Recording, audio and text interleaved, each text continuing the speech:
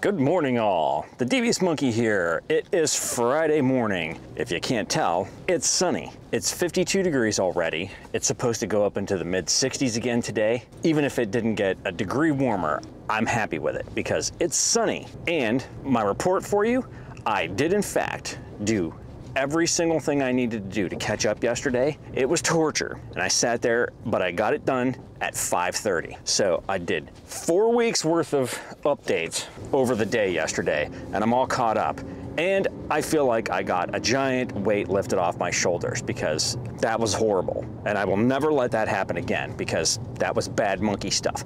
So today I am going to enjoy a little bit of the outdoors, but not until later this afternoon because this morning I will be going to meet my accountant to give her our tax paperwork so that we can get our taxes done.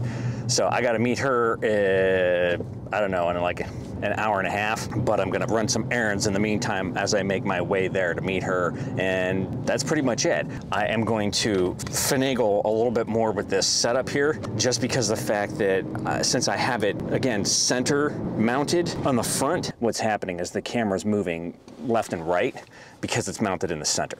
All right, so I just dropped off my paperwork to the accountant. I have, in the meantime, I have torn this apart, trying to figure out what I'm gonna do since I was sitting around waiting.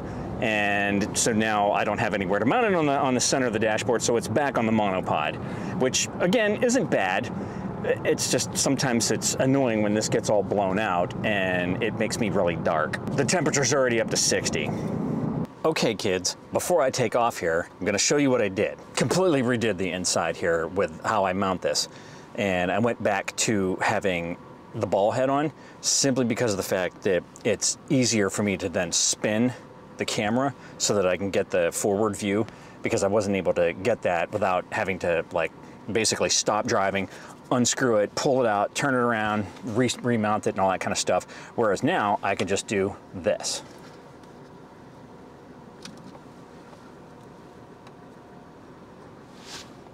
Might have to move my monkey. So now that's, that's completely all set now. So I'm gonna, I'm gonna take this off now. I'm gonna show you real quick what I did. So what I got now is I still have the cheese plate on there, but what I did was I sandwiched the cheese plate in between the ball head and a monopod.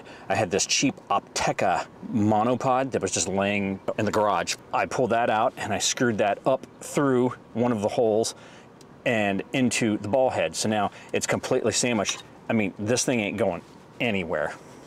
And I have Velcro on here that goes onto Velcro up along the lip up here. So now it's just, it's on there really good. And so far so good. And then it goes down into the cup holder. So it's held in place down in there. It had a spike that protruded down from the bottom. So you can take the spike and screw it all the way up inside the base of the monopod and then take the rubber piece and unscrew it so that now the rubber piece is what's bottoming out, not the spike, since I don't need to have a spike jamming through my freaking cup holder. But now, as you can see, and I am literally like using my hand to shake this and it's, it's barely moving. True test though, now we are going to drive through the shittier part of Virginia Beach here on my way to Three Ships. It's just water, people. You're gonna live. These people are driving through this as if they're like shooting freaking acid. It's water. Just go.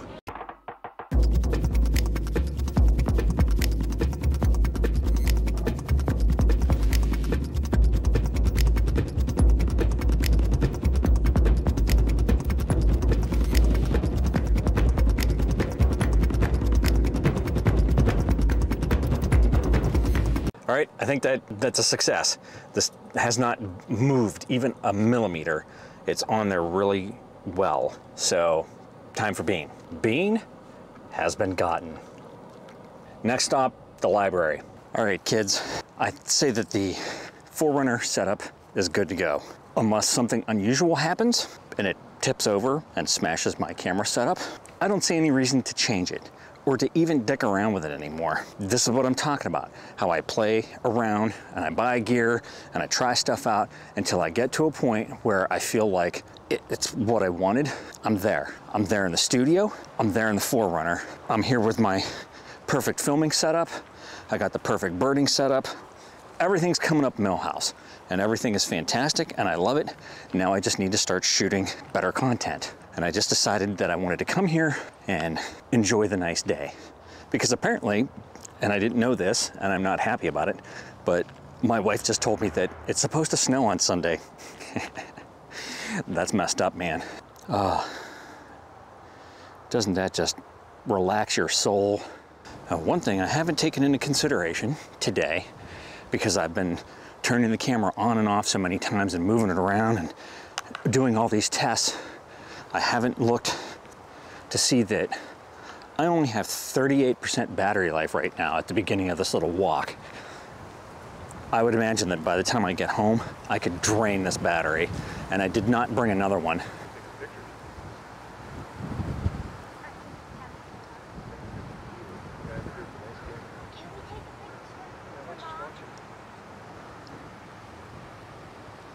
Okay, remember when I walked in and I said, all right, I've got 38% battery life, probably won't make it through, 8% battery life left.